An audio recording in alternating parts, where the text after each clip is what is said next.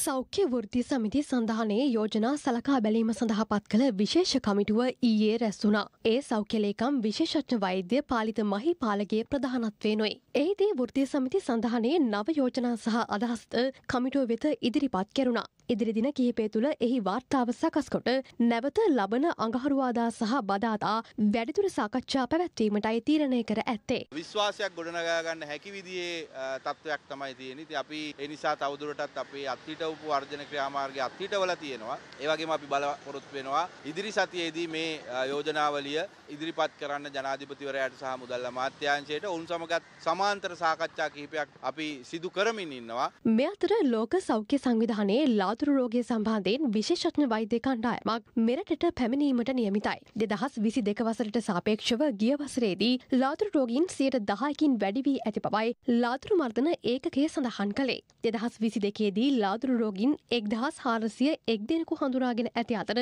දෙදහස් විසි තුන වසරේදී හඳුනාගෙන ඇති ලාතුරු රෝගින් සංඛ්‍යාව එක්දහස් පන්සිය පණහක්.